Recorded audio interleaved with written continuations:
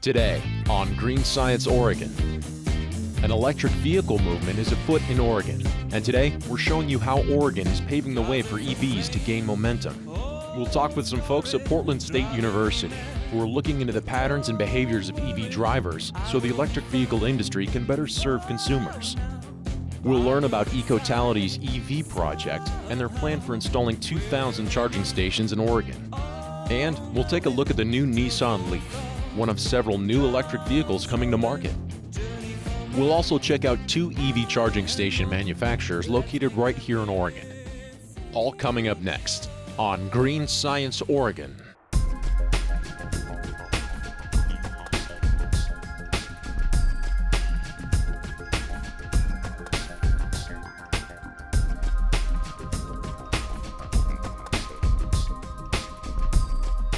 There are a number of announcements of vehicles that are coming to market, but in point of fact, today in Oregon there's only about 400 or 450 registered electric vehicles across the state. That's soon going to change. Long and short of it is there's a lot of new products, new generation electric vehicles that will be coming to market late in 2010 and 2011 and into 2012. And we want to be one of the early markets that has access and uh, has a chance to learn how to adopt those and adapt those to, to the uh, cityscape uh, up and down the Willamette Valley.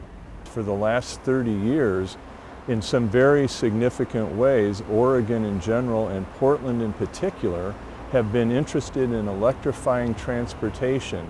It's the least impactful and probably most energy efficient and reliable way that we can move uh, masses of people.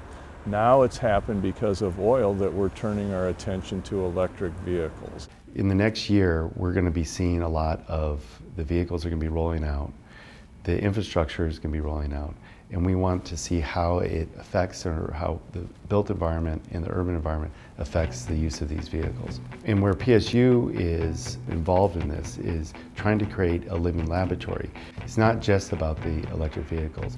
We're looking at the infrastructure, the vehicles, and the people in which this is going to uh, affect. We have a pilot project with Toyota right now with their plug-in Priuses. We have 10 cars that are in the state, and we're going to be rotating those 10 cars four times, and we'll probably touch about 40 people and get information about those cars. Portland State University, because it has a very special uh, relationship with Portland General Electric and with the City of Portland and other uh, uh, public and private institutions, but those three in particular have made the Portland area a very attractive site uh, for a number of vehicle manufacturers. Toyota in particular has been very generous in providing some uh, pure battery electric RAV4s that we've been testing here since last November. And recently, uh, the Portland area was selected as one of five demonstration markets across the United States for their new uh, plug-in Prius. And so we've got 10 of those that we'll be deploying not only in the Portland area, but in, in uh, Salem, Corvallis, and Eugene over the next 12 to 18 months. The cars are very smart. They'll be having uh, GPS on them. They'll be uh, tracking information within the vehicle themselves. So we'll be grabbing that data off the, those vehicles. The cars have been tested in a uh, kind of on the track or at the, the, the facilities of the um, car manufacturers, but they haven't been tested in the urban environment. You know, when you have air conditioning on or a heater on, or you're, you're might not be driving in the most consistent way, the battery might deplete quicker. So we're trying to figure out what the, how the vehicles actually be, um, operate and the performance of the batteries, but how that measures up to people's daily trips. By taking this information in, then we would like to you know, give that data back and, and recommendations back to our partners, be it the state, the utilities, people in general, uh, on is this a technology that is acceptable or, or can be used by majority of the people We're partnering with Portland State University on a number of initiatives, and our goal is to really look at electric transportation and how it's going to fit into Portland specifically, which Portland has a goal of being a very sustainable city. And so we are partnering with them on a couple of projects. One of them is with Toyota. Toyota has brought a dozen or so vehicles, electric vehicles, uh, into Portland, and PGE and Portland State will be testing those vehicles out in the market. So we'll be having employees drive them, we'll be having uh, staff at Portland State drive them, business leaders, to really look at usage patterns. And we want to see how they fit into the transportation system in Portland. We are the, uh, one of the most significant Prius markets in North America. In fact, the data uh, suggests that we have more registered Priuses per capita in Portland than any other place. So we have a very informed and very motivated marketplace. Now here's what's noteworthy about these cars. They, they not only run like any other Prius, but they have a lithium battery pack and can run in the range of 13, 14, 15 miles in battery only mode and they can be plugged in, plugged in right in your garage or at any 110 outlet and be charged up uh, in the course of about three hours. What that means is, is far less tailpipe uh, emissions, particularly in, a, in an urban area where people make a lot of short hops, stop and go driving and so forth. So we think the car is very promising in a corridor like the Willamette Valley where our average vehicle miles traveled are really relatively small, much smaller than Los Angeles or Atlanta or Chicago. So we're, we're very fortunate to be able to evaluate those cars. Shore Power Technologies is one Oregon company that manufactures electric vehicle charging stations. Shore Power is basically a transportation electrification company. Uh, we do anything uh, related to electric transportation infrastructure um, including electric vehicle charging stations and what's called truck stop electrification. We produce both level one and level two electric vehicle charging stations. Level one is uh, basically uh, a standard household outlet. Um, so the charging station really isn't that sophisticated at that point. Um, however, recently the Society of Automotive Engineers has come out with uh, what's called J1772. It's the new standard that all the, the major manufacturers will be going to. So Nissan with their Leaf coming out uh, at the end of this year and the, the GM uh, or Chevy Volt uh, will both use this uh, new connector, the J1772 connector, and that's in general it's called level 2. So that allows you to charge at 240 volts up to 75 amps, um, in which case you could probably, compared to level 1, charge your vehicle in you know, two to five times faster. All of our charging stations are multi-user units, so rather than have you know, one charging station for one vehicle, we have uh, two user or four user units.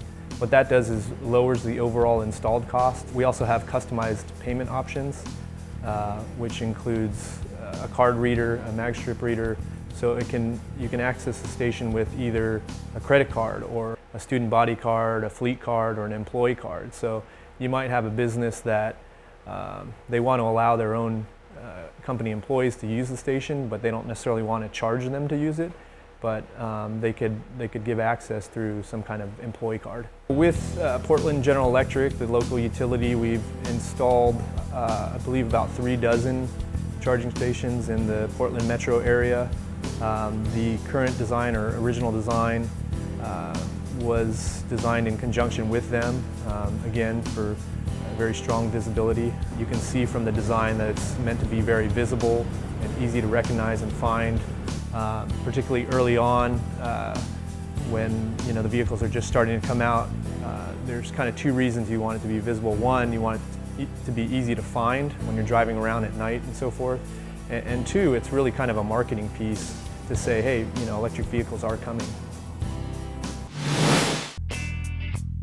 Today we're installing our first public charging station in the city of Beaverton and it's uh, kind of a monumental event because it hasn't quite been done over here before. Beaverton wants to support the electric vehicle infrastructure. We want to let Beaverton know that if they choose to buy electric vehicles, that the infrastructure is here for them to use those vehicles. We want to support the use of alternative energy and we want to shift our consumption away from fossil fuels. We are very happy today to be supporting a local company that makes charging stations, Optimization Technologies with their OpConnect station and that's all part of a move to make sure that um, green tech is supported in Beaverton and to let them know that we're here to support that industry. OpConnect was started uh, a couple of years ago uh, when some people in our organization uh, started looking uh, at new business opportunities. Our company had developed some uh, network uh, security communication software that we licensed to Boeing for use in their commercial airplanes we started looking at other applications for it and uh, I happened to be a Prius driver and was really kind of interested in where the, uh, you know, the clean driving technology was going. Uh, we knew that the industry was starting to move towards electric cars, so we developed uh, a charging station design around our uh, network security software, and that's, that's really how we uh, uh, got to where we are today. We have donated uh, a charging station to the City of Beaverton, uh, and the City of Beaverton is uh, getting started on the installation process. It's going to be installed in front of the uh, Beaverton Library, which is a great location because it's also right across the st street from the Beaverton Farmers Market, which is a pretty well-attended event. When PGE announced it was installing a network of charging stations, we went out to businesses and cities who share our commitment to sustainability to join and hopefully install charging stations uh, at their premises. We work very closely with PGE. They've been involved in investigating several of our attempts to put in stations so far. This is the, um, they've been involved in this process as well. We work closely with PSU to uh, educate and learn and be regional partners in the discussion about bringing electric vehicle infrastructure not only to Beaverton but to the region.